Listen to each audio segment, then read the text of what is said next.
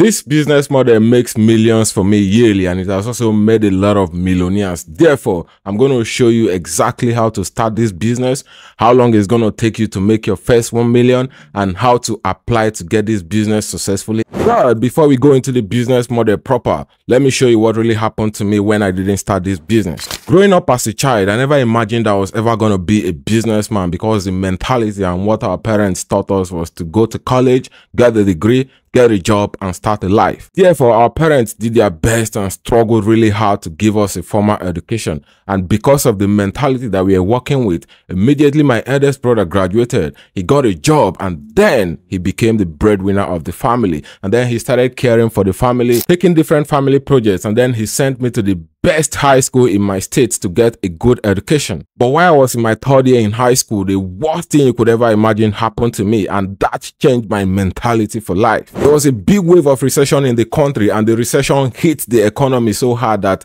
almost 50% of workers lost their job and was sent home jobless. Unfortunately, the hit from this recession also got to my brother and he lost his job and then things became really tough and hard for us again. And that was when it dawned on me that I needed to change my mindset or the idea of going to college to get a degree and then getting a job and starting a life because your destiny and your life is solely in the hands of your employer. They can decide to sack you any day and then you go back to nothing, going back to square one and starting from zero all again. That alone changed my mindset for life and I realized I wasn't going to work with that mindset anymore. In the midst of this recession and the hardship in the economy, I started to make research about successful and rich people because I wanted such life for myself. And then I realized that almost all the rich people that were listed in the Forbes list almost all of them, majority of them were business owners, businessmen, businesswomen who are doing really well for their businesses. And then the idea of business came to my mind, even though I never knew how to start a business, I never knew how to run a business, and I never knew how to grow a business successfully. But at that point, I realized that what I wanted to do in life was to become a businessman because I didn't want my destiny to be tied in the hand of an employer that can decide to sack me any day based on his moods or emotion. Because I changed my mindset and started thinking like a businessman, immediately after my college, I came up with a very innovative idea and I started my first business, but was this business successful? The business was very innovative with great potentials, but this business wasn't successful because I lack experience to run a business successfully. I didn't have the startup capital to run the business and expand it successfully. And also I lack sales experience. Therefore, it dawned on me that I needed a formal training on how to run a business successfully. And then I paused my business and applied for a sales representative position in a corporate company.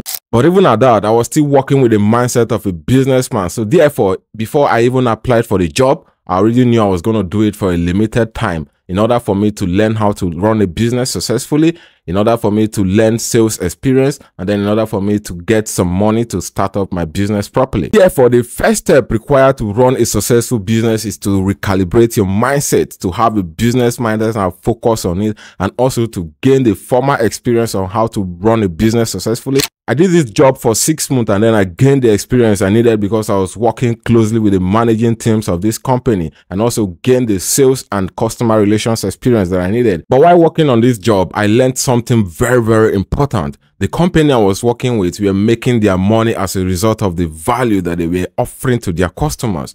They were helping their customers to solve a particular problem and their customers were paying them generously for these solutions that they were providing for the customer. So the second important step you need to take from this video is that in order for you to make money as a businessman, you have to provide value that can solve people's pain point, that they will be able to give you their money in exchange for the solutions you're providing for them. Because I acquired this business knowledge, I started looking out for challenges that people in my community were facing and how I could provide value for them that they will be able to pay me in exchange for the values that I'll be providing. One day during the holidays while I was resting, I decided to go to the nearby bank because there was only one bank in my community that was serving the whole people. And then I decided to go there to use my ATM card to withdraw some cash so that I could buy some product. And when I got there, I was surprised at the queue that I saw. I saw a large number of people on the queue waiting to withdraw some money from the ATM. While I was there, I waited for hours. And aside that, I saw the pains, the anger and the aggression in the eyes of these customers struggling to gain access to their hard-earned money.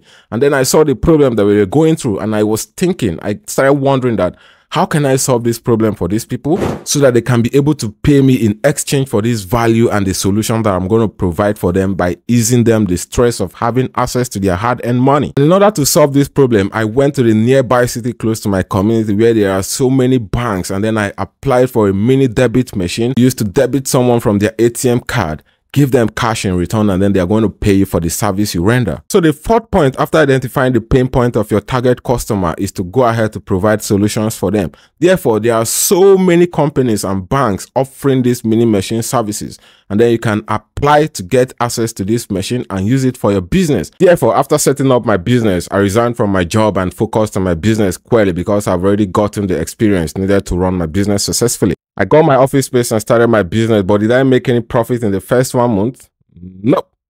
I didn't make any profit because customers were not coming. In the course of finding solutions to the problem, I decided to try a different location and then I got an office space in a different location. And immediately I changed my location to a different location. Customers started coming in in queues and then I started making a lot of profit.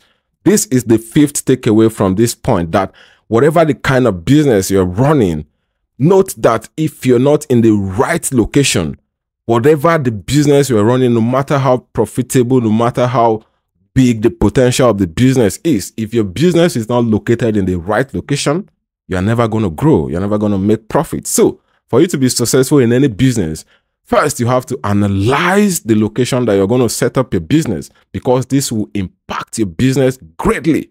It will determine if the business is going to thrive or not. So whenever setting up any kind of business at all, your location should be very, very, very vital. Your location should be very important thing to consider.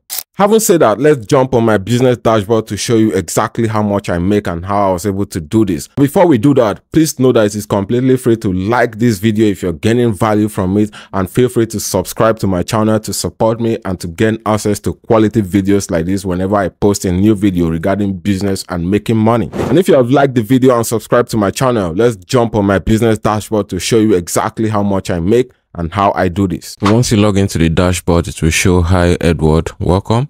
And then we can click on transaction history to see the transactions history. You can see that in the transaction history here in December 2021 when I actually started, I have about 4,135,158 naira.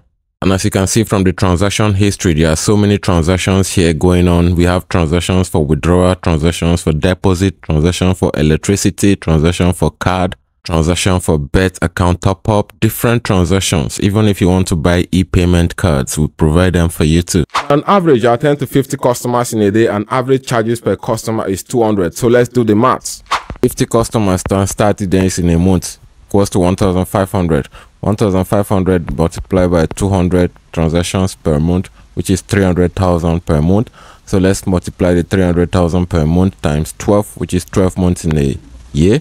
You have three million six hundred thousand. This is just an overview of how much you can make from this business in a year from just one outlet and I have two different outlets. So do the math. But if you are not interested in running a physical business like this and you want to run an online business, click on this video on the screen to learn 10 different passive income ideas on how you can make millions even while sitting at home with your smartphone, your computer and your internet connection. Click on this video on the screen to learn about these 10 ways and see you in this video.